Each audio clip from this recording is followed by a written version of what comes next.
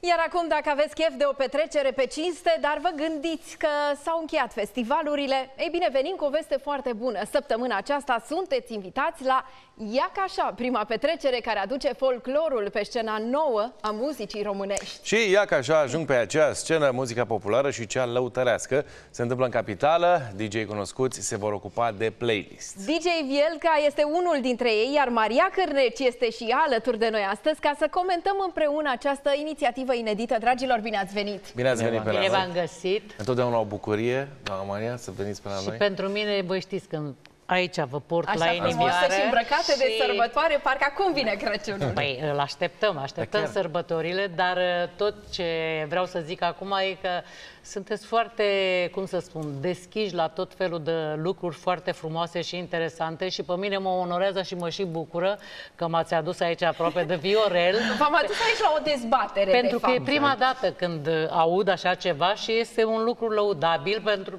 muzica populară în general, muzica de petrecere, vorbim aici de muzică de calitate, dar e prima dată când uh, faci așa ceva, nu? Exact, da. Cred că și în Dar România, nu? Explică-ne N-am- în Viorel, România. mai multe. Deci cum se întâmplă lucrurile? Da, Remixezi niște melodii? sunt reinterpretate aduse la muzica modernă din ziua de azi. Bun, hai, hai dă-ne un exemplu, nu știu, hai să vedem. Ce melodie ar, ar merge remixat? Păi, nu știu, m-am gândit la surorile Oșianu și Irina Rimeș. Foarte, Au făcut... foarte uh, frumoasă da. piesa, Da, da, da. într-adevăr. Da. Bun, vreau așa, să le spunem celor de acasă. Deci, Viorel sau DJ Vielca este Exact. pilot. Da. Da?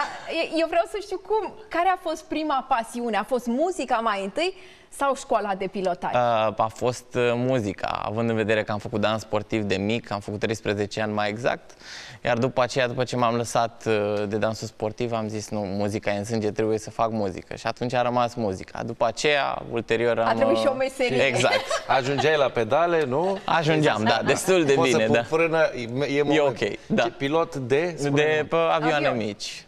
Cessna mai exact, momentan mai avem de învățat și pentru cele mari. Am înțeles. Și cât de greu e să... Până ajungi să zbori tu pe control? Uh, e ceva În de câte învățat. ore ar fi? Uh, sunt cam uh, 100 de ore de zbor până ajungi să pilotezi singur mașa unui avion. Dar e adevărat ce se spune că în timpul instructajului, instructorul își oprește motorul și spune Da. hai, descurcă-te? Da, se și cum e oprește- momentul ăla? Că să știi că vorbești cu un om care cu greu, cu greu aș, se urcă mie în nu mi-ar fi avion. fric, eu aș putea să pilotez, mi-e frică să stau în avion, înțelegi? Lăsați. Nu văd ce s-ar putea întâmpla. Uh, Motoarele și avioanele sunt concepute pă, în așa fel încât, uh, chiar dacă rămân uh, fără motoare, ambele motoare, mă refer și la cele mari, să poată să planeze, să ajungă în uh, siguranță la uh, Bine, am zis eu frână mai devreme, dar nu e cu frână. Băi, Bine că aveți Sunt, o frână uh, pe palaniere, pistă. da. Cum se numesc? uh, Palaniere. palaniere. Palanierele. Da, da. Și unui dreapta, unui Unul e stânga. dreapta, unul e stânga și... Doamne, că ne... și- Deci mi-e Nu, hai frică că de am asta. pierdut. Asta zic, asta zic. Deci, Bă, cum ar fi Deci, cu- când a, prima dată când am fost în America, credem că am luat vreo două somnifere ca să... Deci, dacă cumva se întâmplă ceva, măcar să nu știu, să nu fiu prezentă.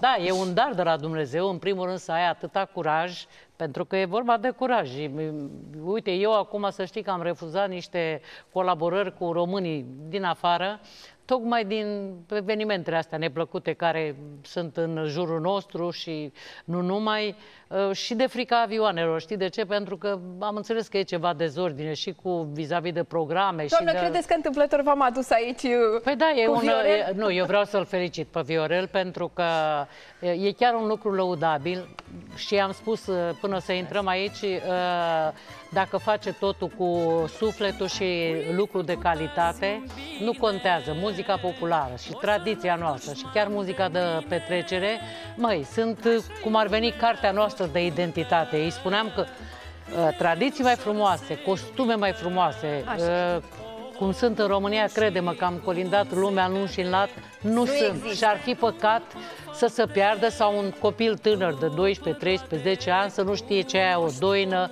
o horă, o sârbă sau să nu știe de uh, cei care au fost în vârfuri, pentru noi au fost repere, să nu le știe măcar numele sau, mă rog, cât un șlagăr, gen Maria Tănase, Mariana Tărețu, eu te felicit și să mai faci și să nu fie prima, pentru că până la urmă poporul nostru, uh, la o sărbătoare, la o zi de naștere, nu știu, la un chef între prieteni, bă, nu se ascultă nu știu ce rog, nu știu ce tobe, nu știu ce chitări, de-alea cu zgomote. Se ascultă Tot una ale de noastră noastre. mai de draganenii, de, De corazone. corazon, cum se spune. Da. Chiar așa, Viorel, te-ai gândit să remixezi cumva și o piesă a doamnei Maria? Uh, nu m-am gândit, dar până vineri am destul De acolo timp. încolo. Am Momentul destul potrivit, timp, uite. exact. Ai permisiunea aia, îi dați Da, permisiunea. Sigur, îți dau una chiar frumoasă, uh, deci Care care, merge. chiar să cântă Căruță cu cai, firai tu să fii Gheorghiță și uh, am văzut că e cerință pentru ea. Bine, am și eu mai multe, că uh, a, sunt ceva cu mai multe amintiri decât tine, așa, dar uh, discutăm, vorbim. E un lucru extraordinar de frumos,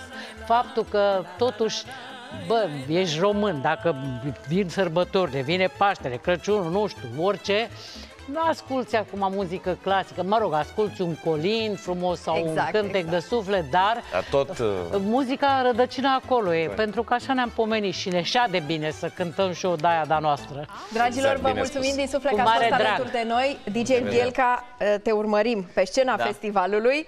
Doamna Maria Cărneș, vă mai așteptăm aici să Pupici. vorbim și Tu de vii cu avionul? sărbători. Vii cu avionul la Nu, Piața Presei, nu. aterizezi pe Ah, spate? N-am crezut. văzut că o să fie- Aia ar fi o știre. Aia ar Auzi, fi o știre. Cum că a aterizat un avion de mici dimensiuni în spatele... Păi nu, uh, aveam noi casei. un coleg, un uh, instrumentist și când colinda toată lumea, știi? Și când venea, zice, se ducea la pilot, dar bine, poate să fie și un fel de banc sau snoavă, zice, șefule, poți să faci o escară și la tunar să mă dau și eu. Mulțumim din Cu suflet, drag. dragilor, și vă mulțumim Cu că ați drag. venit.